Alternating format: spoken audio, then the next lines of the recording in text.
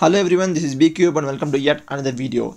In today's video, I'm going to compare Redmi Earbuds S with the Mi TWS2. But guys, this is not a versus video, this is a comparison I'm doing for those guys out there who are confused to choose between Redmi Earbuds S or Mi TWS2. Before starting the video, I have also unboxed both of them and also have reviewed Mi TWS2. I'll leave them in the cards above so that you guys can check it out. Coming in and talking about the first one that is design, both the earbuds and case are matte finished. Redmi Earbuds S is in-ear type whereas Mi TWS2 is stem or half ear type but the area which goes inside the ear is been given rubber finish for a better grip. And talking about the comfort both of them are equally same. But if you want to have a premium feeling then i would recommend you guys to go with mi tws2 and talking about the features redmi earbuds S has buttons whereas mi tws2 has touch sensors. Both of them do pretty much the same and also cannot be changed or increased.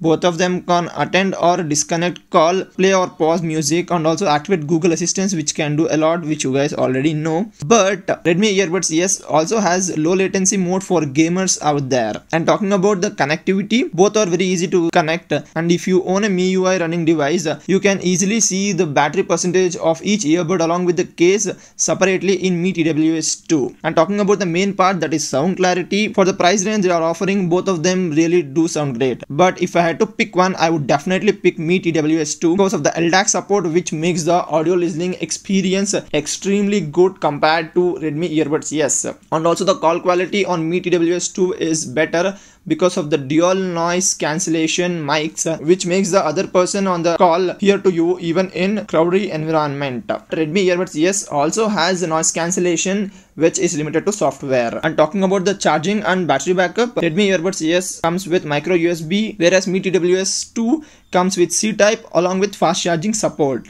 You don't get USB cable in Redmi earbuds S but you get extra ear tips in Mi TWS2 you do get the cable with it. And talking about the battery backup. Both the earbuds uh, gives around 4 hours of battery backup with 70 or 80 percent volume. But overall battery backup is better in Mi TWS2 which gives 2 hours extra battery backup than compared to 12 hours on Redmi. To conclude the video if you are someone who is looking for premium earphones uh, and better audio quality who loves to listen to songs and entertainment uh, and if you are not gamer then Mi TWS2 is a really great choice. If you are someone who really wants the low latency mode then you don't have any other choice than to go with redmi earbuds S.